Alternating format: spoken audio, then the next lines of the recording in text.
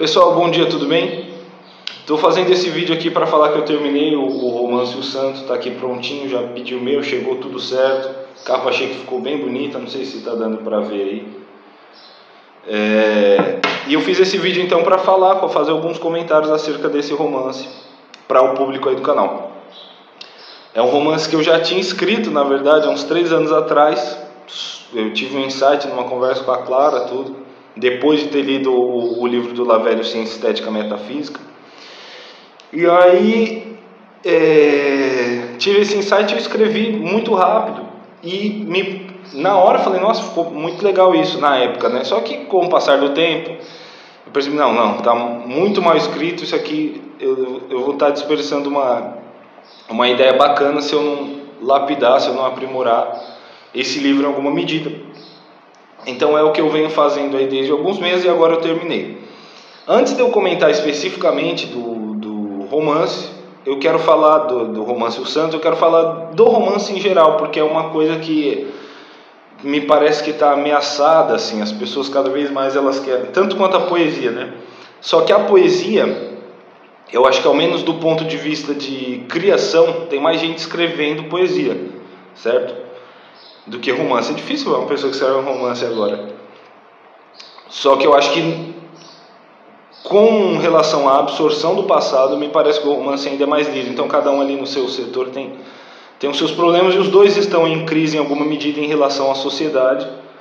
Claro que sempre vai existir, né? Eu não tenho a, a ilusão de que você só tenha pessoas que vão apreciar poesia, ou só pessoas que vão é, ler literatura ficcional de forma alguma. Mas também eu acho que dá para dá e é até o mais natural, acho que é esse afastamento, na verdade, é que é antinatural, vamos dizer assim. Pensando nas exigências do homem, da consciência, da alma humana e, e nesses gêneros literários, eu acho que é até mais, mais uma aberração que, que essas coisas se, sejam tão desprezadas. Então, compensa a gente fomentar em alguma medida.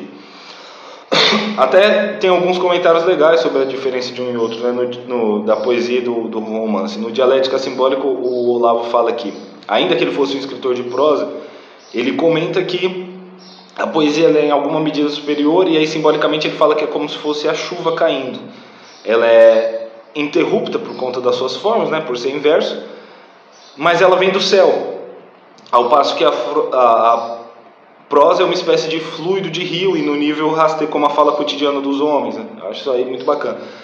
E você vê que está tão ameaçado essa embora eu também ache, postei recentemente o Bruno Tolentino também dizendo que a, a linguagem poética é a linguagem fundamental, porque ela vai levar o homem para a compreensão da realidade, incitando ele à dimensão misteriosa da vida, né?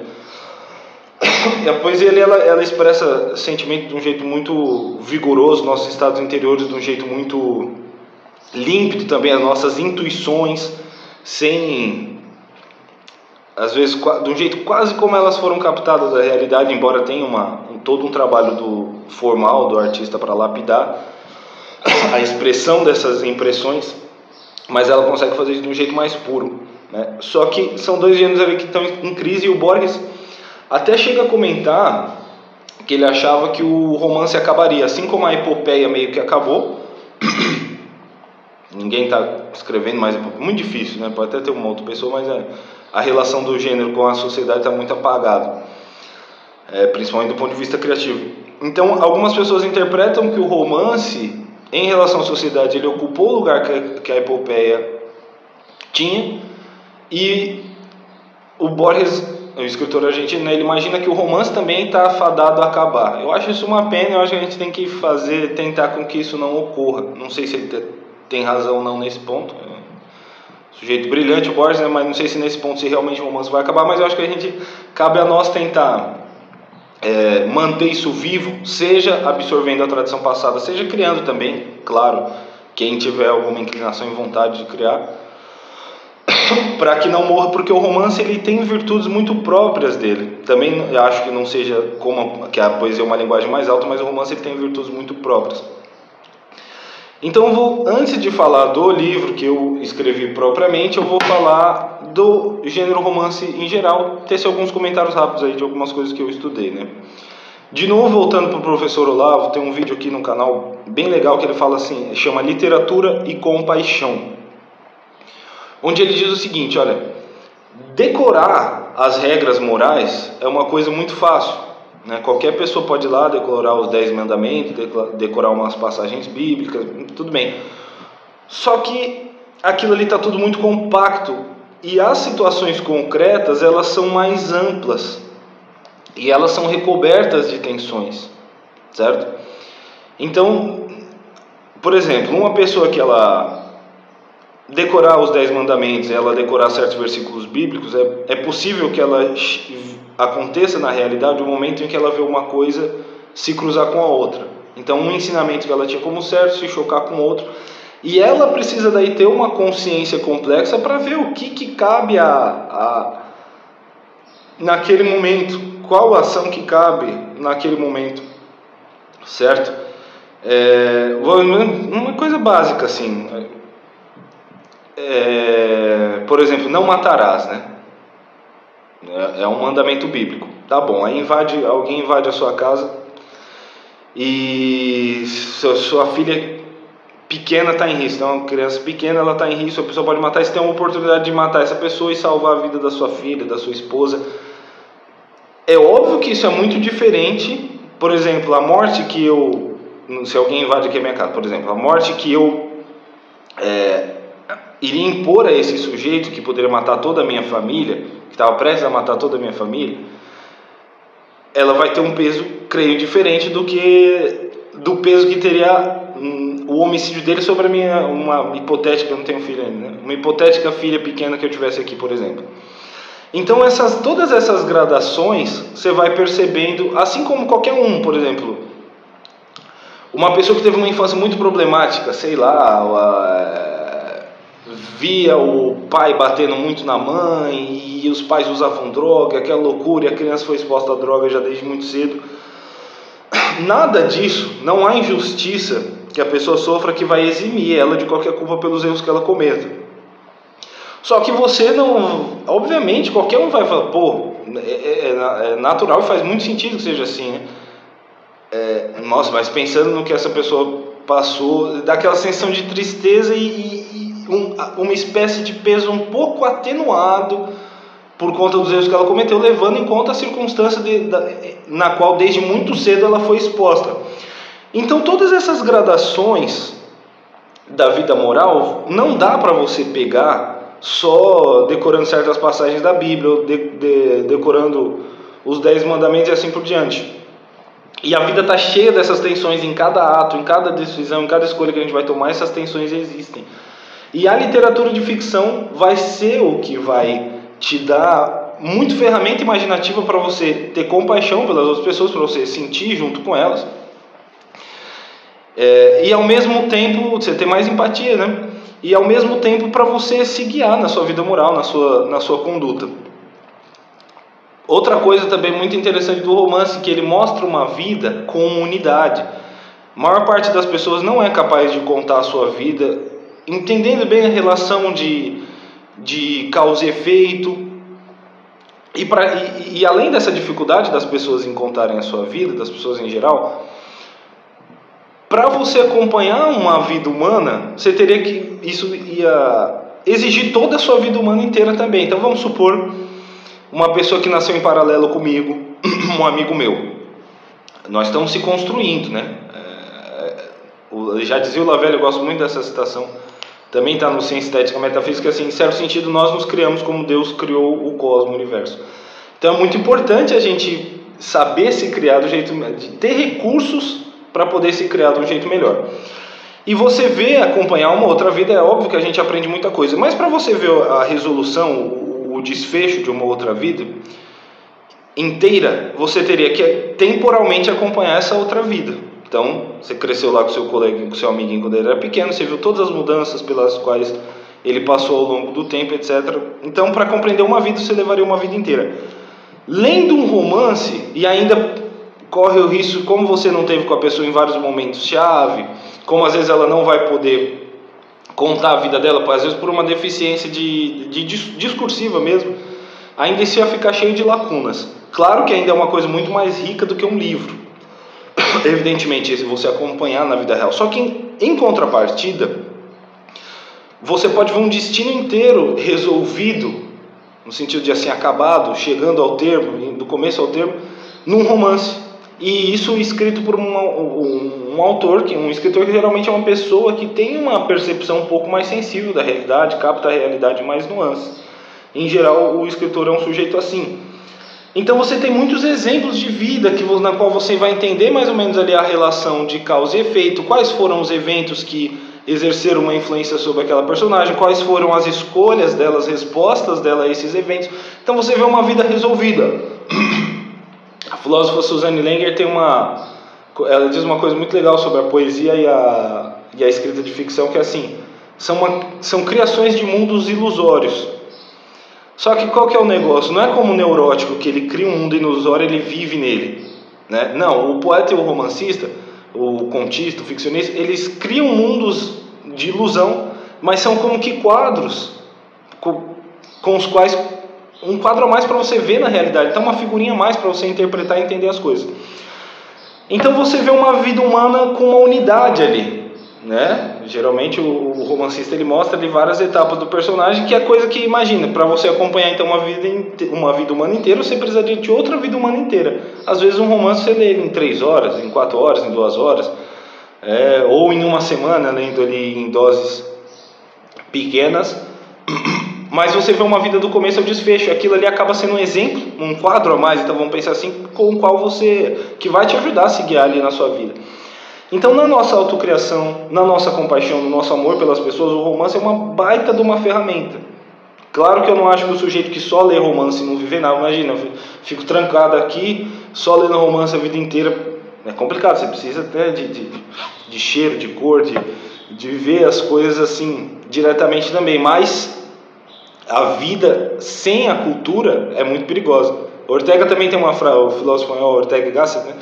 Ele tem uma frase que eu acho bem bacana, é, a cultura é aquela volta tática que você dá para voltar à vida. É, os que estão muito perto da, de, uma, de uma cascata não conseguem perceber o estrondo da água caindo ali. Então, às vezes, é preciso você se afastar um pouco para você perceber o que estava perto antes. Então, a cultura é um pouco assim. Ela não é um adorno, tem que parar, o Ortega fala, né? Tem que parar com essa ideia de que a cultura é um adorno para gente chique, snob. Não, ela alimenta a sua.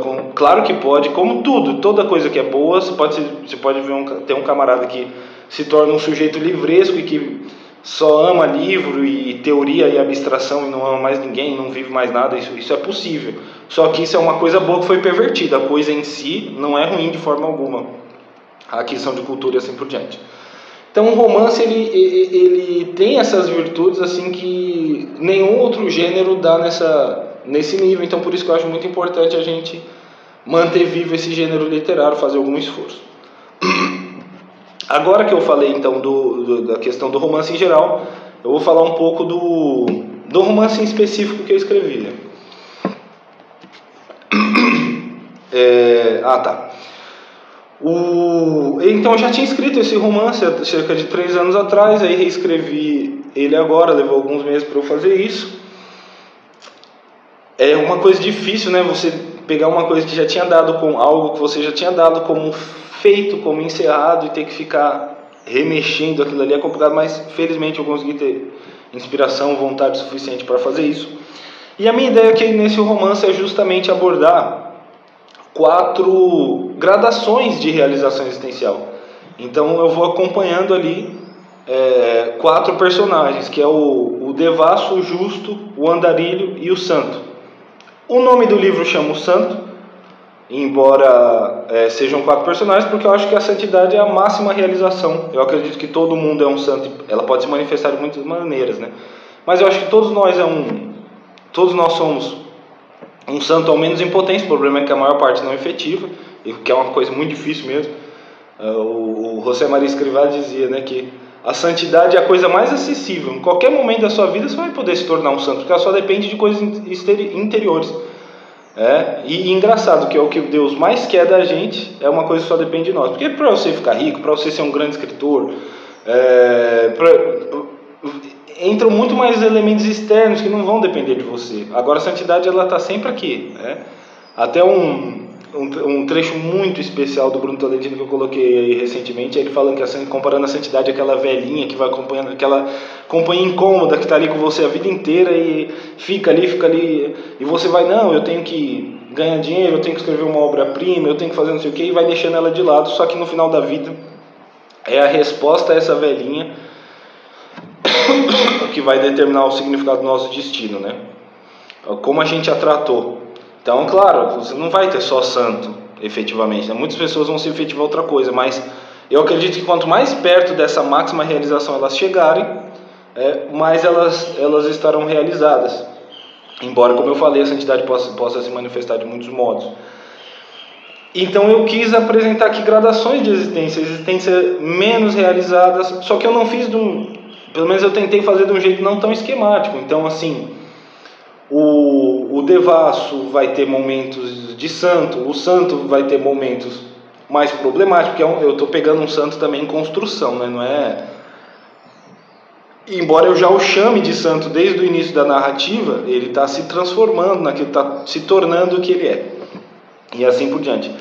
Então também não está tão esquemático, até para as pessoas também sentirem compaixão ou verem as dificuldades pela qual o santo ou o justo passam, as dificuldades morais que eles também enfrentam. É, e aí eu vou primeiro falar de alguns defeitos possíveis, ao menos que eu enxergo, claro que podem ter defeitos na, no livro que eu não perceba, mas eu vou primeiro falar de alguns possíveis defeitos no livro e depois eu vou falar das virtudes, tá? Antes de encerrar o vídeo. Então, primeiro, possíveis defeitos.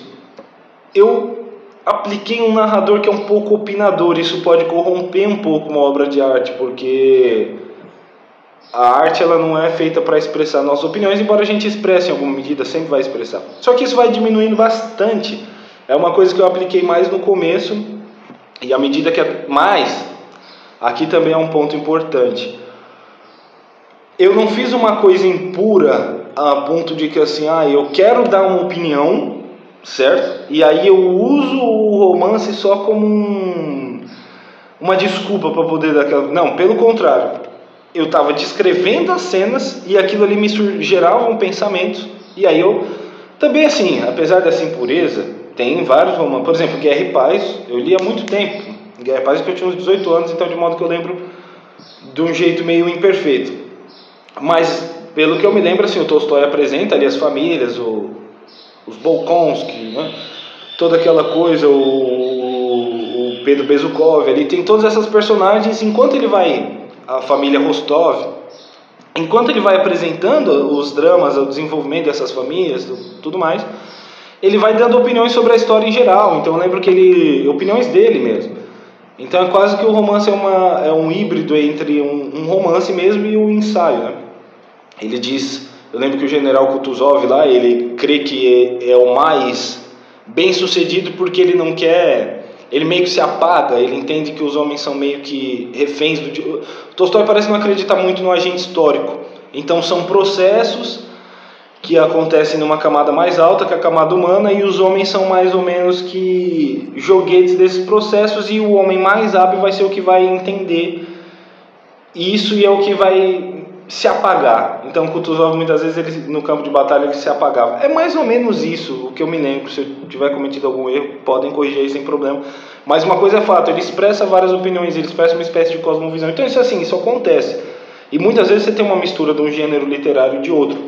Só que tem que tomar cuidado para isso não ficar de um jeito muito impuro, é muito opinador. E eu acho que no começo do livro realmente dei várias opiniões minhas, acho que algumas podem enriquecer o leitor, pode ser interessante, mas vai diminuindo ao longo do livro e também não fiz de um jeito, não coloquei o que eu estava escrevendo como uma coisa servil à minha opinião, ao contrário, a minha opinião é que está nutrindo a trama que estava se desenvolvendo ali, ela é que está a serviço é, então acontecia um evento, eu falava, pô, isso aqui me gera uh, o pensamento X ou Y, e assim o expressava, né?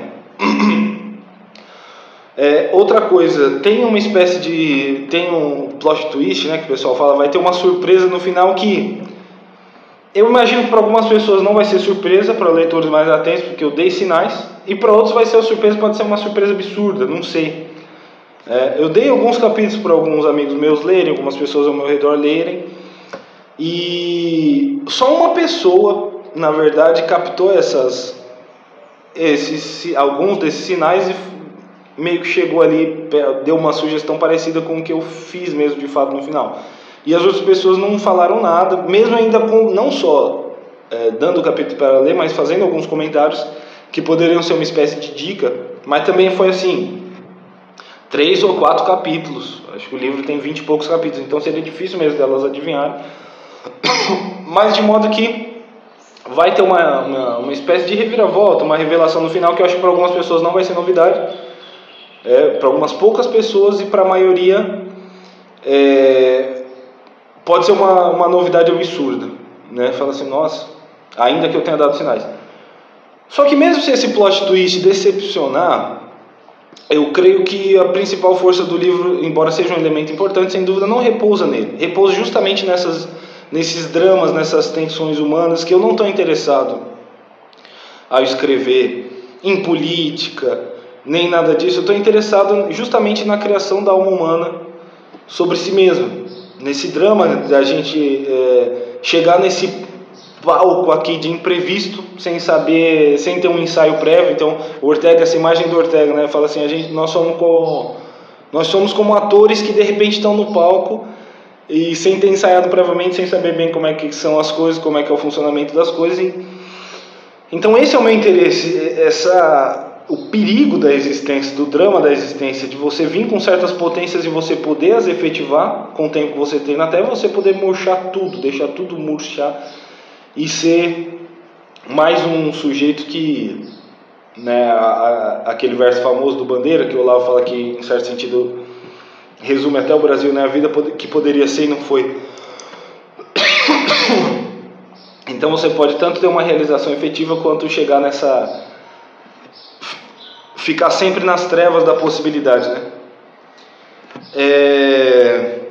Outro ponto que para algumas pessoas pode surgir um possível defeito então do livro. Mas então voltando, né, o plot twist, acho que seja ele decepcionando ou seja ele satisfazendo, seja ele sendo uma surpresa ou não sendo, o livro tem riquezas que vão além disso, tem tensões ali, dramas humanos que vão muito além disso. Eu acho que não vai, mesmo se a pessoa não gostar desse final, e acho que pode, muitas pessoas podem amar também. É, não cai por terra. É diferente de uma coisa onde eu, é, os eventos, a narrativa é a única coisa interessante. Então, por exemplo, se o, o desfecho não for satisfatório, aquilo, se, toda a virtude do livro repousava nesse aspecto, vai ser complicado. Mas eu, não é o que, eu, o que eu creio que aconteça com esse livro meu. Outro ponto também que para algumas pessoas pode ser problemático. Enquanto narrador, quando eu vou comuni me comunicar com o leitor, que eu faço essa coisa de ficar falando com o leitor, é, como alguns bons romancistas já fizeram. Eu trato ele por voz. Então vai ser uma linguagem nessa parte que vai ser um pouco estranha. Por exemplo, quem eu tenho aqui o Moby Dick do Herman Melville, na tradução do Péricles Eugênio da, da Silva Ramos, que é um, um, grande poeta também, o que me foi dado ver. Eu tenho um livro dele aqui, A Noite da Memória. Eu achei um poeta muito talentoso e um, um o poema mais bonito dele que tem aí no canal, procurem depois é o poema Ar, né? Ele está inclusive é, conversando com Ar no poema. E é um, é um poeta muito talentoso, foi um poeta muito talentoso, um, um tradutor excelente, e ele traduz o Moby Dick sempre falando com as pessoas por voz, né? Então eu peguei um pouco do jeito dele falar ali. Isso pode soar estranho, porque ninguém mais fala, né? O, o professor Lavo também fala isso. O Brasil é o único país, eu procurei, eu investiguei, ele diz, né, que retirou da sua fala cotidiana duas pessoas do discurso. A primeira, a segunda do singular e a segunda do plural. Então, tu e o vós desapareceu. E é claro que isso você está limitando a capacidade humana de, de, de, comunicação, porque tem nuances nesses jeitos de falar que talvez é, é, é Dito de outro modo, não essas nuances fiquem perdidas. Por exemplo, eu me parece que essa coisa de falar como voz, muitas vezes você vai fazer um discurso profético assim solene, com meio ares de um tom profético. Eu acho que é muito difícil fazer isso fora do voz. Né? Claro que dá, mas tem certas sutilezas ali que E em nenhum país essa, teve essa, essa perda. Nenhum lugar, nenhum lugar. É, e eu já tive a possibilidade de conversar com algumas pessoas de, de Portugal, que também falam português, então, é, portanto, algumas pessoas da África também. E realmente, até o pessoal da África, que em, parece pra gente que está mais lascado, né? Em alguns aspectos está mesmo. Mas nessa questão da linguagem, eles, eles falam ali o tu, muitas vezes conjugando certo. Muita gente aqui no Brasil até fala o, o tu, né? Mas tu faz. A conjugação já está toda bagunçada. Então usa o tu, mas é, tu vai naquele, naquele mercado ali, sei lá. Já está tudo tá, tá muito diferente do que. Há um abismo entre a regra da escrita e a, e a oratória. E aí o Olavo falou, ele expressa, né, uma aula do Koff onde ele menciona isso, ele fala que tem uma vontade de influir para que voltasse ao uso, só que ele fala que na escrita já é muito difícil, teria que pensar como vai ser feito isso, porque soa jocoso e artificial. Só que eu acho que na ficção, esse jocoso, o Olavo não escreveu ficção, ele escreveu em prosa. Na ficção, tanto na poesia eu uso bastante o tu e o vós, e eu acho que até no romance também, como narrador, não fica artificial. A história não é expressa dessa maneira. Toda narrativa, os personagens não falam assim, salvo num caso muito específico. Um outro caso muito específico, mas em geral não falam. Agora eu, enquanto narrador, falo. Eu acho que na ficção é mais essa jocosidade, ela é menos nociva, vamos dizer. Até porque, em muitos aspectos, o narrador sou eu mesmo.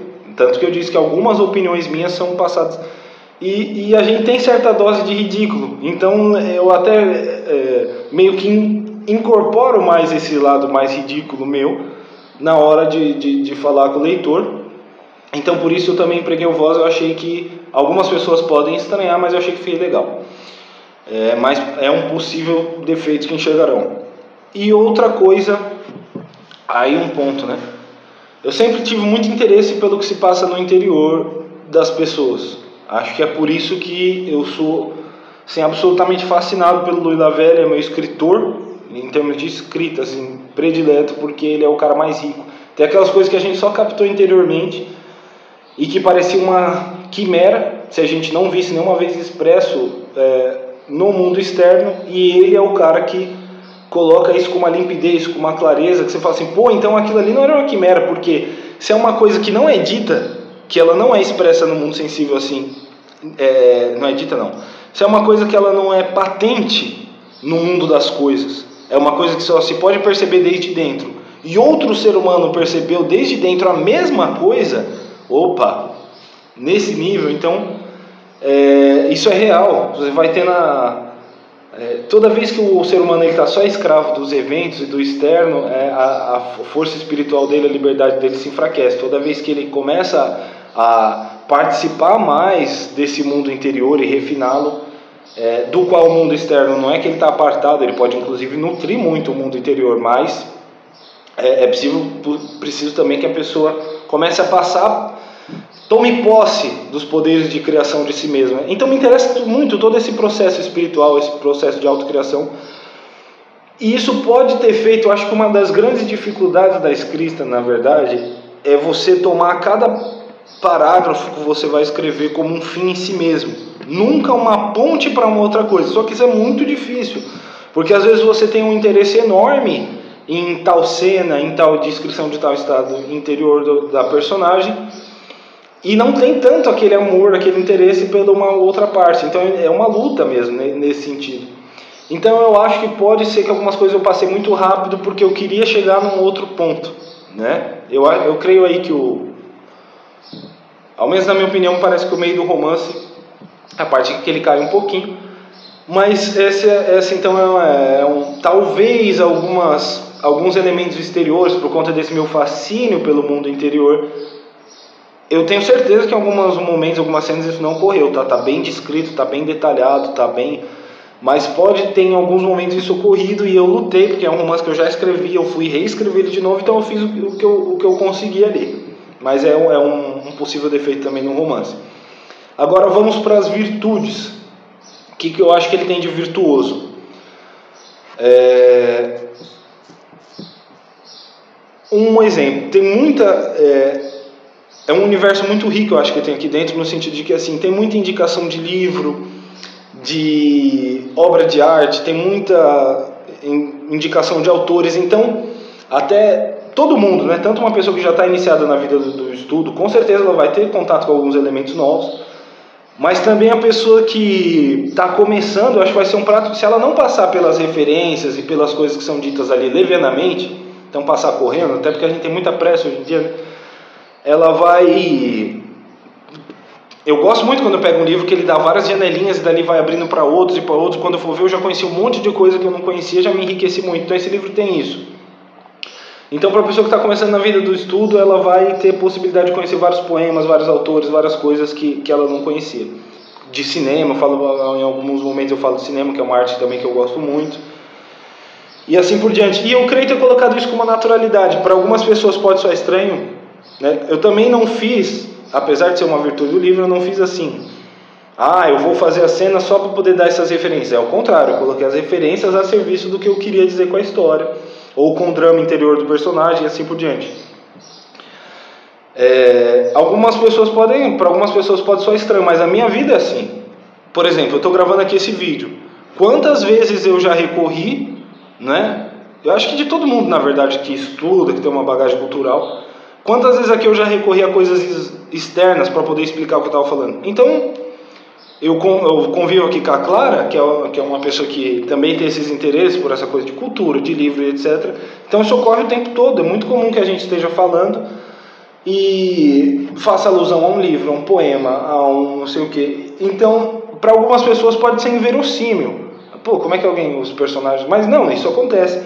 E também os meus personagens, ele tem um pouco dessa veia cultural, né, dessa veia intelectual. Então, a pessoa, enfim, vai absorver é, é, muita coisa de cultura, muitas possibilidades, muitas ventanas, muitas janelas vão se abrir. E isso pode soar inverossímil para alguns, mas eu sei, eu tenho plena consciência de que, no fundo, não é, tá? Outra coisa legal do livro, para quem mora em São Paulo, no estado de São Paulo, eu moro atualmente no Mato Grosso do Sul, mas eu sou de São Paulo. A maior parte do, do livro se passa em locais de São Paulo, então ali no bairro de Pinheiros, no Largo da Batata, ou na cidade de São Roque, que é uma cidade onde eu passei minha, a minha adolescência ali, dos, dos 13 aos 16 para 17 eu morei ali, foi uma época muito especial da minha vida. Depois voltei a morar lá e saí de novo, tenho uma vida meio cigana, morei em muito lugar. Mas já morei mais um ano depois, agora antes de vir para o Mato Grosso do Sul, um pouco antes eu estava morando lá. Então, quem é de São Paulo vai ter contato com. Tem parte do litoral também, embora menos partes é, que eu também já morei. Então vai ter quem é de São Paulo vai ter aquela coisa legal de ver, olha, é igual por exemplo José Geraldo Vieira tem lá a Ladeira da Memória, que é um lugar ali no no Anhangabaú, em São Paulo, no qual eu mesmo já passei várias vezes, é muito é uma sensação muito interessante. Embora o Anhangabaú que ele conhecia ali, a Ladeira da Memória que ele conhecia era bem distinta da que eu conheci, porque a coisa está muito degradada nos últimos tempos, né? Mas é muito interessante você pensar, oh, o cara passou aqui, então ele está descrevendo esses locais e tudo mais. Então tem isso. E para quem, contrapartida para quem é, não é de São Paulo, é, vai poder ver ali uma noção de alguém que nasceu, que andou por ali, de como é o local.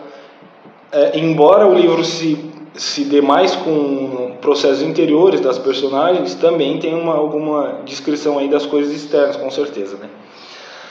Outra coisa, eu acho que a fluidez da escrita é um livro muito fluido, dá para ler ele muito rapidamente, muito mesmo tem de romance aqui ficou com o livro no total ele ficou com 159 páginas. Só que eu fiz um apêndice com poemas meus inéditos em livro. Então são 12 poemas, então vai ter poemas também.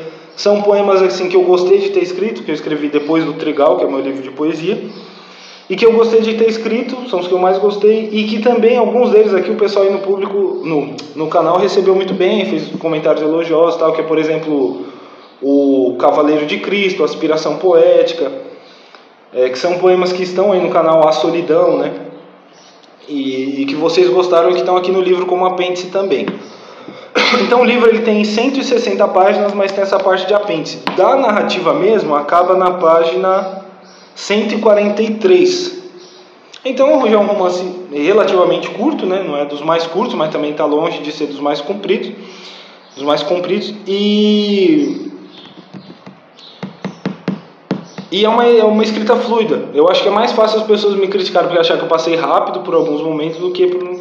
Então, uma leitura bem fluida, embora tenha densidade de, de, de, de assunto tratado, de, de drama, de tudo isso tenha muita densidade com certeza. É, assim, né? Pode ser que alguém vá ler e fale, pô, tá demorando para acabar tal. A gente nunca sabe, ainda mais numa época em que somos tão apressados como hoje em dia, uma época de muita pressa, é uma coisa que a gente tem que combater. Mas é, para além do subjetivismo da nossa impressão, se a gente for comparar com, com certos estilos de escrita, é uma escrita bem fluida.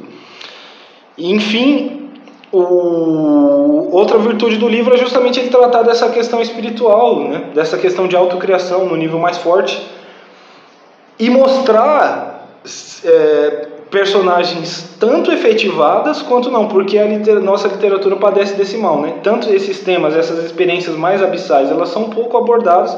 Claro que a gente teve, é óbvio que teve, tivemos grandes romancistas, mas isso é outra coisa também que o professor Olavo falava, e não só ele. É, a pergunta fundamental muitas vezes está ausente da literatura de ficção nacional. Então, não sei em que grau que eu consegui, é, mas ao menos o livro tenta e não é, é só uma expressão da, da vida que poderia ter sido e não foi. Tem também esse caso, já que são quatro é, realizações existenciais, né? Uma máxima, que é a do santo, e as outras menores. Então você tem tanto a vida realizada, que poderia ser e se efetivamente se tornou, poderia ser, quanto as que não. É, ou as que não tanto, enfim, são, como eu disse, gradações. Mas então tem essa pergunta fundamental, ela está presente no livro, vamos dizer assim, e você tem exemplo tanto do erro quanto do acerto.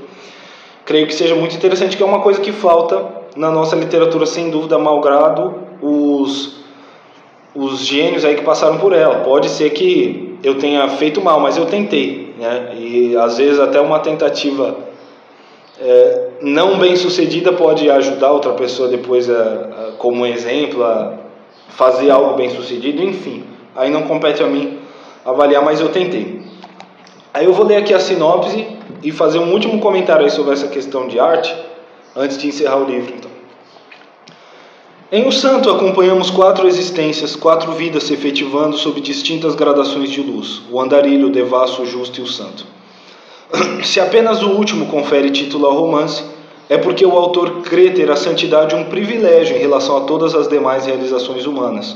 Contudo, como a complexidade da alma não permite que sejamos nada em bloco, o leitor perceberá que nenhum desses tipos humanos pode escapar de sua própria tensão entre virtudes e vícios. Há provavelmente mais semelhanças entre eles do que poderiam supor os rijos moralistas. Talvez em cada um de nós esses tipos pulsem mas a coragem, a confiança na graça efetivam os santos. Muitos homens não se preparam para a morte por carecerem de exemplos, símbolos de trevas, penumbra e luz. Dentro de seus limites, a obra tenta fornecê-los. Se ela em algum nível puder ajudar um só leitor a se aproximar do melhor de si mesmo, terá cumprido seu papel. Isso é uma coisa que eu acredito muito bem. Ah, se acharem que não, etc. Mas uma só pessoa falar, cara, eu li isso aqui, isso aqui me alimentou muito, em quem eu sou, no que, que eu vou. que mais que eu poderia querer? Eu falo isso de coração mesmo. E aí, para muitas pessoas, pode soar é, estranha essa ideia né, de um livro que tem esse propósito, então, de melhorar. E eu vejo muitas essas discussões. Ah, a arte ela deve servir a alguma coisa, não deve servir a nada? Como é que é? você tem os, os extremos ali, né? Você tem pessoas que acham que não tem. Por exemplo, o Borges, eu gosto muito do Borges, mas ele fala: não, não acredito em passar nenhum moral da história. Ele até comenta aquele. O Hawthorne, né? Ele diz assim que é. Tudo, tudo que ele escreveu era meio que uma fábula. Porque a fábula, lembra lá na escola? Moral da história. Era muito direto, assim, né? E, e tem outras pessoas que acham, por exemplo, o T.S. Eliot é um sujeito que crê que. Não, não. É, mesmo na poesia, que é uma coisa até mais inefável que o romance, ele queria, não, tem que ter um. E o mesmo Hawthorne que o Borges comentou isso, que o Borges comentou isso, o Eliot é, o elogia, né? Eu tenho um livro de contos do Hawthorne aqui que o Eliot fala que era um profundo conhecedor da vida moral, tudo. Então você vai ter nessas concepções e, e você vê onde. Só que assim, importante. É, o Eliot crê que valores, isso até o Carpo fala né, na história da literatura ocidental, fala assim, com Eliot a poesia voltou a ser feita por homens, no sentido de que assim, ele cria assim que a poesia é, é, pode passar valores e deve, só que é, esses valores eles não podem ser feitos com aquela linearidade de um outro tipo de discurso, da fala comum, etc, etc. Tem que ter aquela carga de mistério, até porque você vai levar mais a pessoa, vai é, é, fazê-la acender mais através desses recursos. A poesia é aquela que ela esconde para revelar melhor, né? Assim. Mas o Eliot era uma pessoa que cria nisso. Então, entre essas concepções, é, eu fico ali no meio termo, porque tem vezes às vezes algumas coisas que eu leio que eu não consigo tirar nada assim daquilo, me parece uma coisa muito vaga, alguns contos ou mesmo alguns poemas, e não, não é o que eu tenho predileção. Às vezes o negócio tem tanta beleza que tem valor, e aí a própria beleza é um valor por si já, pronto, acabou. Mas isso é muito difícil, eu acho que tem que chegar numa uma perfeição estética muito grande para conseguir, mesmo aquela coisa que não te, parece que não fala nada, tudo, conseguir te comover e, e, entrar no seu íntimo ali. E em contrapartida, aquela coisa panfletária também é feio. É como, por exemplo, alguns escritores aí marxistas que, como o sujeito, né, já dizia Lenin lá, toda a moralidade do membro do partido tem que estar sujeita, subordinada ao partido. Então tem essa. Eu vi até que aqui no Brasil, cara, por dois escritores, eu vi o Orígenes Lessa falar uma coisa assim, e eu vi também o Mário Ferreira dos Santos. O Mário Ferreira dos Santos, filósofo, muita gente não sabe, mas ele tem um romance ficcional que é Os Homens da Tarde. E nesse Homens da Tarde, ele meio que se justifica no prefácio, falando ali que assim, olha, ele não trata de problemas sociais ou econômicos, mas simplesmente de problemas. Então você veja que chegou um nível de cobrança por uma influência marxista de que o romance, a arte tivesse subordinada às causas do partido, a transformação do partido, a revolução, que o cara e escrever uma coisa por fora, ele meio que até se justificava.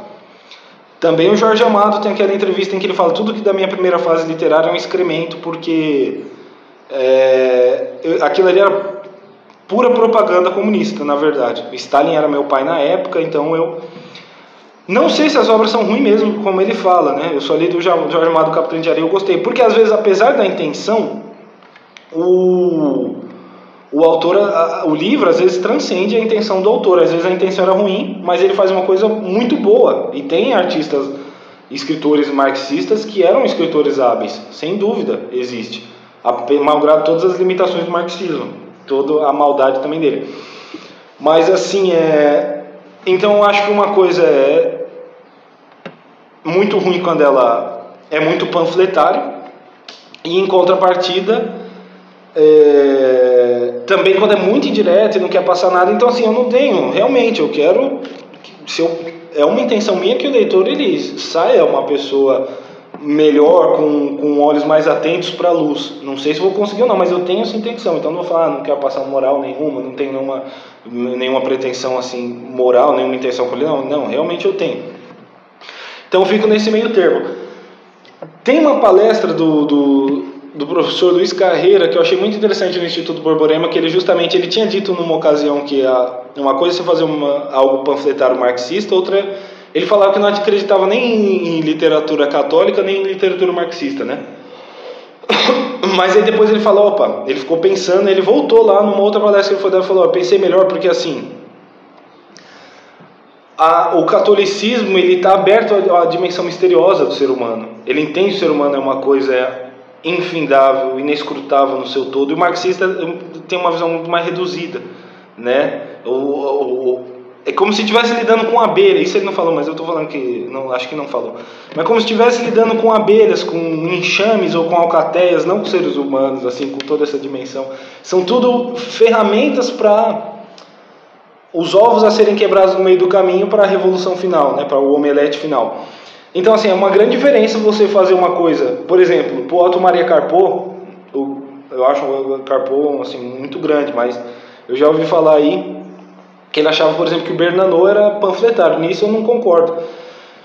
Mas talvez o Bernanou, né, no pároco de aldeia, ou sob o sol de Satã, ele tivesse muito essa intenção de, de repente, até levar as pessoas para o catolicismo. Né? Mas é uma coisa muito diferente você levar para o catolicismo, porque o, o marxismo, porque o catolicismo é a, a, a, o infindo propriamente, né? a figura de Cristo que a gente já sabe que é, vai escapar ao nosso entendimento, né? É, o, o verbo divino. Então, é muito diferente. Você está vendo a alma humana como um mistério. Por exemplo, não sabe quem vai ser condenado, quem que não vai. Tudo, dá toda uma dimensão de mistério. Quem de nós pode falar quem que está no céu, quem que está no inferno, quem que não sei o quê. Então, é, é você querer levar a pessoa para uma coisa que está maior do que ela, que ultrapassa o entendimento da razão dela. É bem diferente. E, só que aí qual que é o problema? Não pode repousar a obra só nisso. Então, ou seja, mesmo uma pessoa que nunca vai ser é, vai ter a mesma cosmovisão que eu, eu me considero um católico, né? Nunca a pessoa nunca vai ser um católico, nunca não sei o que, pode ser, continuar sendo o que for. Ela vai ter elementos aqui que vão enobrecer. Então acho que o problema não pode a virtude do, do romance ser só uma moral boa, ou levar as pessoas a melhorar interiormente a, vida. Não, não. É, esse é um elemento muito importante, um dos cruciais, mas tem que ter outros elementos, eu creio. Assim como é muito possível é, o próprio Borges aqui que eu já mencionei, ele gostava muito do Chesterton. Tudo no Chesterton é, tem um moral da história, praticamente, se a gente observar. Tudo. É, até os contos de fada que ele conta, desde as, dos ensaios. Mas aquilo é feito com, com muitos valores. Muitas outras. Por exemplo, um bom humor dele, a percepção rica dele da realidade, aquela coisa dele de ser o patriota cósmico, de amar o mundo em que a gente vive. Então, transcende muito ali as virtudes do mero levar a pessoa para o bem e para a verdade, embora ele queira. Assim também a Flannery O'Connor, escritora americana, que ela era também uma moralista no sentido que ela queria levar as pessoas numa direção. Só que como? Isso assim eu interpreto e assim também, por exemplo, o crítico Harold Bloom interpretou. É, eu li ali o texto dele sobre a Flannery e falei, ah, é o que eu penso mesmo. É o que me parecia, né? Só que claro que ele explica com mais sutileza. Mas assim, ela usa o grotesco para poder levar as pessoas através desse choque do grotesco para o bem. E no conto dela, entre os que eu li, que é o melhor, um homem bom é difícil de encontrar, um conto assim incrível. Um homem bom é difícil de encontrar. O sujeito mata ali uma senhorinha no final e ela tinha tido um instante de uma aproximação com Cristo muito grande, que o cara já tinha matado o filho dela, já tinha matado todo mundo. Ela falou: Meu filho, não era, creio eu, só medo de morrer, né? Ela falou assim: Meu filho, não. Ela tem uma expressão muito afável com esse homicida, que esse serial killer mesmo, né? Dali do conto. E aí e ela tenta tocar ele. Quando ela tenta tocar, ele sai para fora como se fosse uma serpente tocando ele assim, aquele asco do, do serial killer. Ele dá um tiro na cabeça dela. E aí falando, e ele comenta assim com o sujeito, ele fala assim, ah, ela teria sido uma pessoa boa, velha, né? Se tivesse alguém com uma arma na, apontada para a cabeça dela o tempo inteiro. Então o drama da morte, do sofrimento ali, ao invés de ser, criar nela uma revolta, criou primeiro um estado de graça que ela pôde ter um amor até para aquela aquele indivíduo maldoso e em segundo lugar é a compaixão que ela despertou, né? E, é, ela chegou num nível de, de, sabedoria que ela não chegaria por outro caminho. Então, por mais que o personagem ele seja um, um tremendo de um filho da puta, um psicopata, é um serial killer, ele falou uma coisa: às vezes o contato com a morte, com o extremo, mostra pra gente que a gente deveria ser sempre. então, ou seja, através da história a gente pode tentar antecipar esse estado, né? E se eu tivesse prestes a morrer? A questão da ideia do náufrago lá do Ortega tudo mais. Então tem uma moral da história bem certa, assim. Só que tem outras virtudes, as descrições, a Flannery é muito engraçada, assim por diante, a leitura é envolvente, a narrativa. Então, eu fico no meio termo, né? Como eu disse, mas eu creio sim que as coisas podem ter valores e uma moral e etc. Tem vários poemas excelentes que na verdade tem. Então, mesmo a poesia só que a questão não pode ser muito esquemática, não pode a virtude da coisa repousar só nisso. E eu acho que não é o que acontece aqui no livro do Santo. Malgrado eu tinha é, é, é, essa intenção de expressar mesmo dramas humanos profundos e ajudar as pessoas na sua vida espiritual, na sua autocriação. Tá bom, pessoal? Então aqui a capa achei que ficou bem bonita, ó. É, eu vou deixar aqui no, na descrição do vídeo o link para compra, beleza? Obrigado aí, até a próxima.